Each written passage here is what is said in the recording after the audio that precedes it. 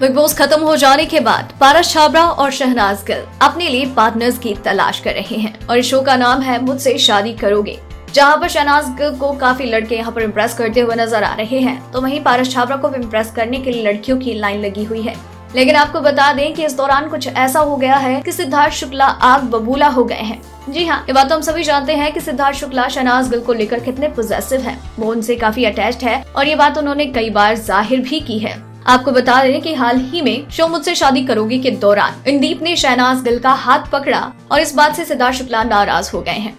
दरअसल एक टास्क किया गया था जहाँ पर कंटेस्टेंट्स को ब्लाइंड फोल्ड किया गया था और शहनाज गिल को भी जहाँ पर शहनाज गिल को छू कर ये पता लगाना था कि आखिर वो कंटेस्टेंट है कौन। तो आपको बता दें कि जब शहनाज गिल इंदीप को टच कर रही होती हैं, तो इंदीप ज़ोर से उनका हाथ पकड़ लेते हैं। इस पर शहनाज गिल कहती हुई नज़र आती हैं कि ये तो ठरकी है और ये सब उन्होंने मज़ाक में कहा। लेकिन आपको बता दें कि इंदीप का इस तरीके से शहनाज गिल का हाथ पकड़ना सिद्धार्थ शुक्ला को पसंद नहीं आया और इस पर वो भड़कते हुए नज़र आए। वैसे भी मेकर्स के साथ वो पहले ये सब क्लियर कर चुके थे कि यहाँ पर no hug no kissing no touching इस तरीके की चीज़ें नहीं होनी चाहिए। और ऐसे में इंदीप का शहनाज गिल का इस तरीके से हाथ पकड़ना सिद्धार्थ शुक्ला को बिल्कुल रास नहीं आ रहा।